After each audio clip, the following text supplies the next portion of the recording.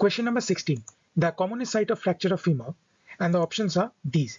So this question came from your orthopedics part.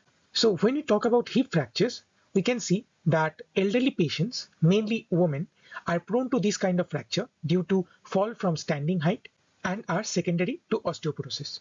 In case of osteoporosis, there is loss of bone density and that basically weakens the structure. So whenever there is a fall, it's most likely chances that there is a hip fracture associated with it.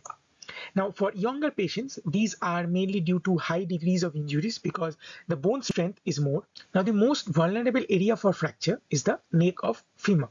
You can see in this figure, neck of femur comes under the intracapsular fracture. So, whenever there is an intracapsular fracture, it is most likely that it may lead to AVN femur, that is avascular necrosis of femur and the mortality rate is high in older population from this kind of fractures. So the answer is option B, that is the neck of femur. You can see it in any orthopedics book, but I specifically followed the Apley and Solomon's orthopedic book.